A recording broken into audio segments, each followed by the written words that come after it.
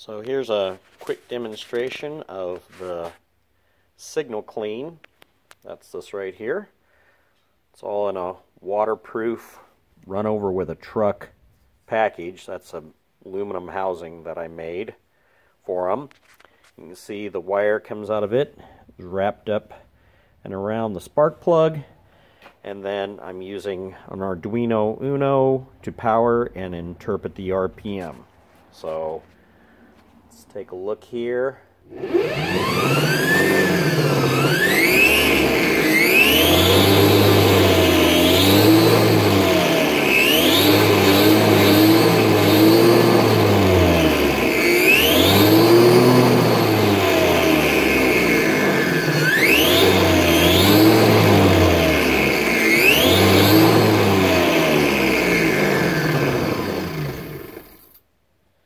Nice, clean, smooth RPM.